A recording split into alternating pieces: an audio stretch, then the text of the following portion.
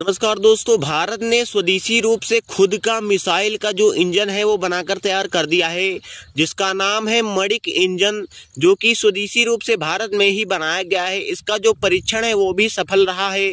चलिए आपको इसके बारे में बताते हैं। इस इंजन के परीक्षण के बाद में भारत की जो मिसाइल का कार्यक्रम है वो तेज़ी से आगे बढ़ेगा, क्योंकि यह जो इंजन है, भारत की मिसाइलों में प्रयोग किया जाएगा और स्वदेशी रूप से भारत में ही बनाया गया है।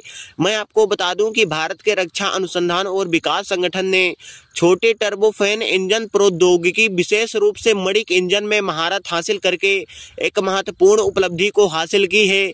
यह इंजन भारत के सब सोनिक क्रूज मिसाइलों के कार्यक्रम को आगे बढ़ाने में तेज़ी से मदद करेगा। मैं आपको बता दूँ, यह छोटा टर्बोफैन इंजन जो है, वो भारत की सब सोनिक क्रूज मिसाइलों में उपयोग करने के लिए बनाया गया है और जिससे भारत की मिसाइल कार्यक्रम में काफ़ी तेज़ी आएगी, क्योंकि स्वदेशी रूप से भारत का इंजन भारत की मिसाइलों में लगेगा, जिससे भारत को काफ़ी ज़्यादा फ़ायदा भी होगा।